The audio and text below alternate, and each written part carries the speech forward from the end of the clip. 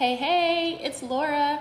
I have some really good news that I am super excited to share. I have been selected to run for the member representative position for the Freelancers Union. So, what is the Freelancers Union? Freelancers Union is the largest and fastest growing organization out there that represents the more than 60 million independent workers across our country. So that means freelancers in every single industry that you can think of. The union is made up of about 500,000 members across the country, and they serve these members by working on advocacy issues, by providing benefits, by providing resources, and most importantly, a super dope community for freelancers everywhere. So, what happens if I'm elected? Well, if I'm elected, that means I would sit on the board of Freelancers Union. It means that I would get to help develop advocacy campaigns that help freelancers everywhere. It means that I would get to help set the vision for the next two years, which is the length of the term that I'm running for.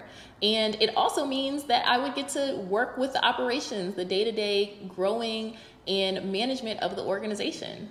So, why was I nominated? Well, I applied, so let's start there. But I applied because I've been a freelancer for the last 11 years of my career.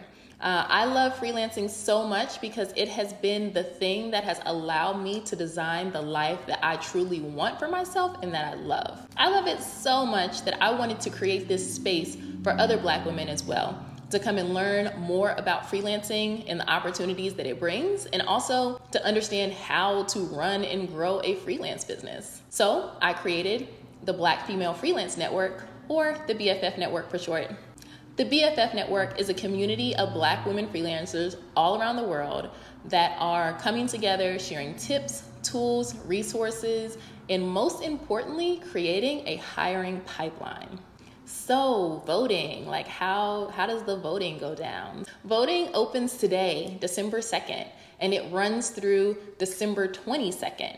Um, however, it's important to note that only active members of the Freelancers Union are eligible to vote.